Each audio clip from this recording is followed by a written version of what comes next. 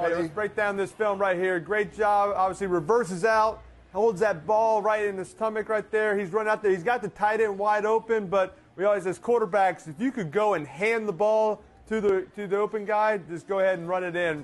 They are obviously watching film of uh, of this play. Obviously, Dak looked a lot more athletic. You almost fell down after the fake. That would have been really embarrassing.